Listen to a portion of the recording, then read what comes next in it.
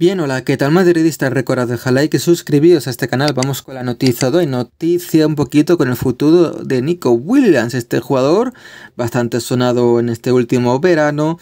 Pues parece ser que la próxima temporada mm, podría no seguir en su actual equipo, el Athletic Club de Bilbao. Porque, bueno, eh, están comentando agentes de Nico que este, esta temporada va a seguir, que la siguiente ya veremos ese tipo de cosas, ¿no? Dejó las puertas bastante abiertas y claro, hay equipos que van a estar interesados en ficharlo.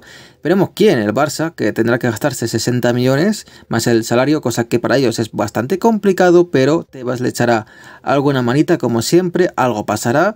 El Ramari, pese a que sea una acción de mercado, veo difícil que lo fiche, a no ser que se vaya una venta gorda en el Real Madrid no veo ningún sentido, veremos algún equipo de la Premier, que allí en la Premier seguro que le vendría bastante bien por la forma de jugar Nico Williams, veremos, pero este jugador va a estar en, la, en el mercado el próximo verano como está un poquito indicando de forma indirecta los agentes, así que veremos, pero el próximo verano a haber otra vez telenovela con este jugador y veremos a dónde va.